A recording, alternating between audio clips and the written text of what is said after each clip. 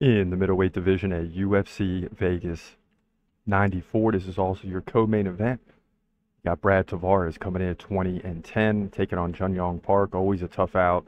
He comes in at 17 and 6. So two guys used to winning, you know, on average about 70% of the time. Tavares, three inches taller at 6'1. He's 36. Time is running out.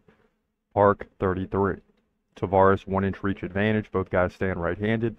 Park has the advantage on the feet, landing over uh, one significant strike per minute on Tavares, right? It's 4.5 versus 3.4. So you're looking at 15 to 20 significant strike advantage for Park throughout the fight, right? He also lands two takedowns over the course of three rounds. Tavares less than one per three rounds. So Park has an advantage in the numbers.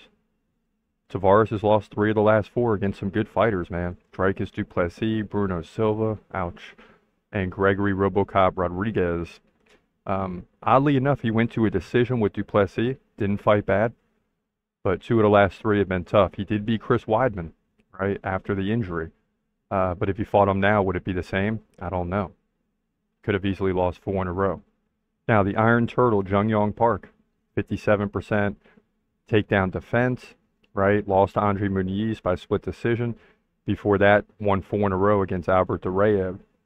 Denis Tiuliulin and Joseph Holmes, as well as Eric Anders. So the level of competition isn't there, right? So you can look over the last five fights and say Tavares is losing to some good fighters, right? Some very good fighters. He's the underdog here.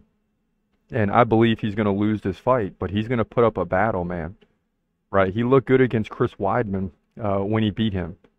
But other than that, in the previous four, he lost three of the last four. So that's a problem. The momentum is not with him. Park seems to me uh, to be at the top of his game and right uh, at the right age at 33. He's right smack in the middle of the prime. So I look for Park uh, to win this fight, both on the feet and on the ground. Maybe he loses a round, but very capable of getting a unanimous decision, 30 to 27. So it's either it's going to be unanimous, but it's either 30-27 or 29-28. We'll see. In my opinion here, Park wins. Middleweight division, UFC Vegas, 94.